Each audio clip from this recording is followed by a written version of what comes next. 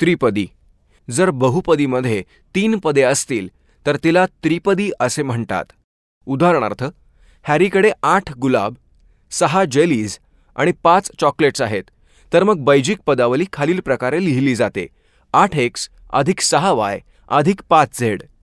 येथे एक्स गुलाबांची संख्या निर्देशित करतो वाय जेलीजची संख्या निर्देशित करतो आणि झेड चॉकलेटची संख्या निर्देशित करतो. आठ एक्स अधिक सहा वाय अधिक पाच झेड ही त्रिपदी आहे ज्यामध्ये तीन पदे आहेत. बहुपदी. सामान्यतः जर पदावलीमध्ये एक किंवा अधिक पदे असतील ज्यांचा गुणांक हा गैरशून्य असेल तर तिला बहुपदी असे म्हटले जाते. उदाहरणार्थ चार एक्स अधिक चार एक्स वाय अधिक सतरा एक्स झेड वर्ग वजा दहा वाय वर्ग झेड अधिक एकोणीस.